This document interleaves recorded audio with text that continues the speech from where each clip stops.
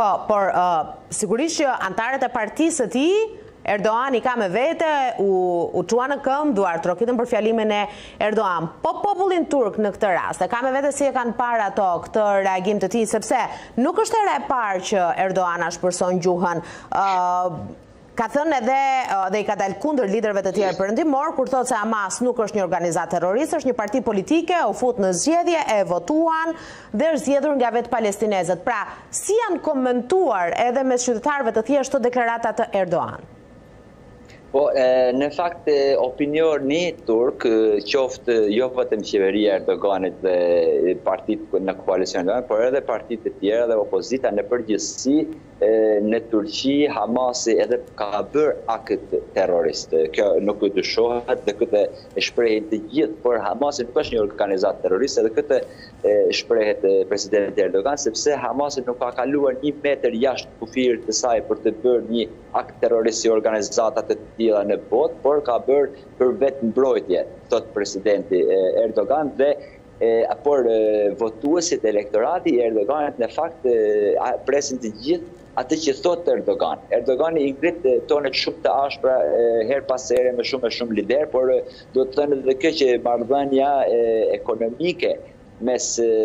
Izraelit dhe Turqisë është më e madhja në, në, në, në rajon, plus që duhet thënë edhe kjo që me gjithë ato tone shumë të ashpra që Erdogani ka ndaj e Netanjahut, pavarësisht se sipas Erdoganit apo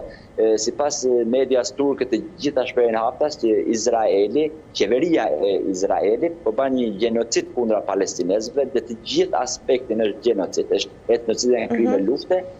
Me këtë Erdogani mundohet ta shtrëngojë diku Izraelin, që ta nxjerrë në një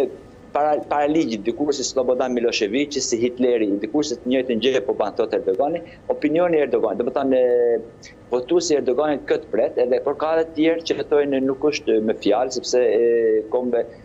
organizata e bashkëpunimit islamik u mblodh dhe vetëm me fjalë, asnjë gjë, asnjë vepër për të ndaluar qoftë për të bërë një orë pushim një një pauzë në luftë aty nuk janë të fortë. Edhe për këtë arsye, të gjitha fjalimet e Erdoganit janë vetëm llafe dhe asnjë gjë tjetër. Dakord, por është mund të shihet edhe si një rreshtim i Turqisë kundër Shteteve të Bashkuara të Amerikës, kundër Francës, kundër Gjermanisë. Pra, e shohin edhe edhe në këtë mënyrë, a mund të penalizohet Turqia në jo. të ardhmen me këtë qëndrim që po mban ndaj Izraelit? Jo, jo, me këtë nuk e shoh në atë aspekt sepse këtë ka për konsum të mbrendshëm në fakt, pothuajse media e e paanshme ose e opozitare e Erdoganit thonë që e po Erdogani kështu flet sepse pas 4 muajve, 5 muajve kemi zgjedhjet lokale dhe për këtë arsye duhet të karikuar elektorati i vet. Në fakt kjo është fjalimet e Erdoganit kanë tone shumë të larta, por zhurmën e kanë të lartë, por veprën nuk kanë fare. Në përgjithësi media turke kështu është. Këtë është dhe opinioni turk nga kjo pikëpamje e shef këtë çështjen e e fjalimeve të Erdoganit, sepse a mund të ketë një një një gjë të keqe nga Amerika po nga Franca, siç siç tha më parë Denisa, e, në fakt Erdogani pas fjalimit që bëri e, Macroni që tash stop më sepse atje po vdesin fëmijët